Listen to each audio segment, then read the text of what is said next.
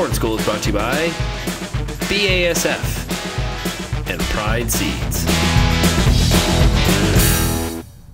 Bernard Tobin here at the Farm Smart Expo, joined by Christine Brown from Omafra. Hi, Christine. How's it going? Good. How about you, Bernard? It's good. It's a hot day, but uh, we're okay with that. Hey, I always love to have you on Real Agriculture because you're always looking for ways to get more bang for your manure buck, and you've come up with something new here I want to talk about. Um, in crop manure application in corn. Tell us what you're up to.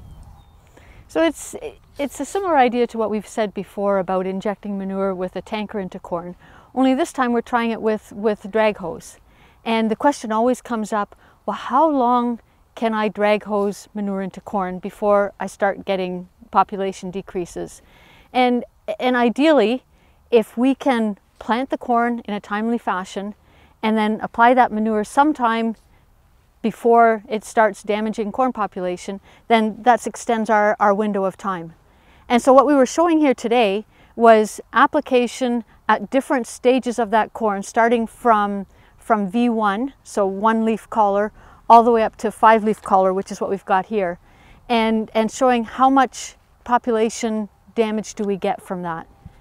Um, this is an idea that we, we, we uh, saw first from Glen Arnold at, at Ohio State University.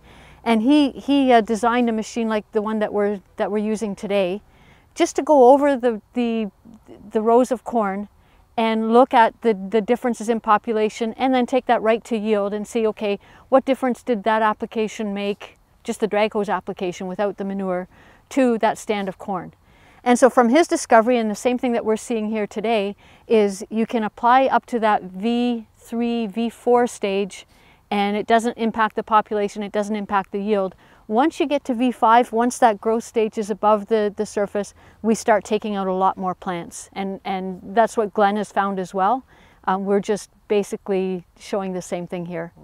Christine, what about the economics? Obviously, obviously manure is your uh, specialization. Um, are, are we, does this work better with dairy manure, you know, poultry manure, pork manure, swine uh, applications? How does that factor out? So if we have to look at, at, at, a bunch of different things. First of all, we're looking at, at nutrient utilization in the crop. So if we're applying it to a standing crop, those nutrients need to be very available to the crop. We don't want a long uh, period of mineralization where the bugs have to work on those nutrients to make them available. The crop's going to need them fairly soon. So we need a, a, a, manure type where those nutrients are available immediately. So uh, pig manure is, is the one that comes to mind first. Um, there's differences in pig manure though.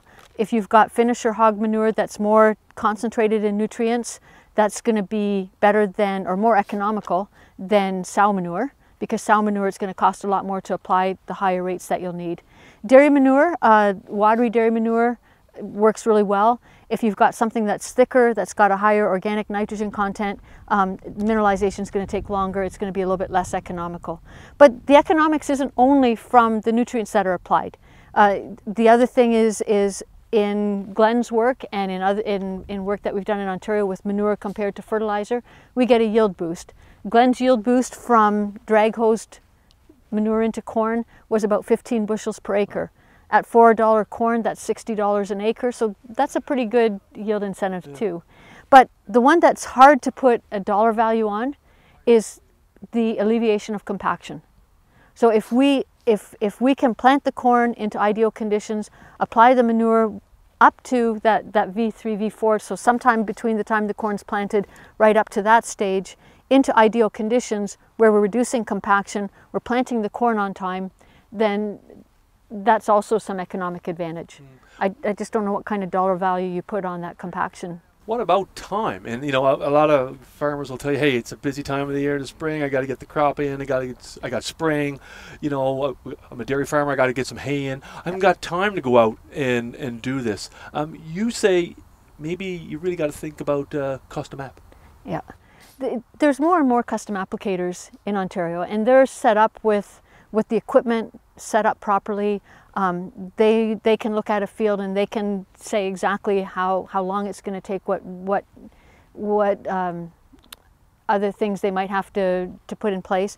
But if if you've got corn to plant and spraying to do and, and hay and, and hay is a perfect example of this. Farmers need to get their their hay crop in that hay crop is it's it's the milk. It's it, good value hay crop is is is dollars in milk.